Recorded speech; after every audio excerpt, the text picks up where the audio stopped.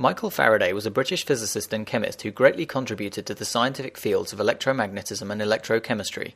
Faraday was born in South London to a poor family, and he only received a basic education. When he was 14, he became an apprentice to a local bookbinding business and spent most of the next decade educating himself through the books he found in the shop. He was especially interested in scientific subjects. In 1812, after his apprenticeship had ended, he attended four lectures by the British chemist Humphry Davy, Faraday took notes on the lectures and sent them to Davy in the form of a book, and Davy subsequently appointed Faraday as his secretary, and was later made chemical assistant at the Royal Institution. Faraday accompanied Davy as his valet on an 18 month European tour, and then returned to the Royal Institute.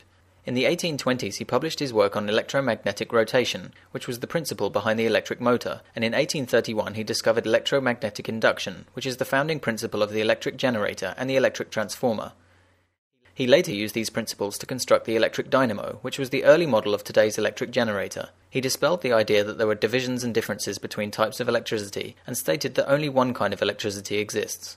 He also developed the Faraday cage, a shield that blocks external electric fields, which is now used in various technologies such as cables, microwave ovens, and MRI machines. It is also used to protect sensitive electrical equipment from lightning strikes. Faraday was later made scientific advisor to Trinity House, and Professor of Chemistry at the Royal Military Academy in Woolwich, England. He died in 1867, aged 75, and is commemorated in Westminster Abbey with a plaque near Isaac Newton's tomb.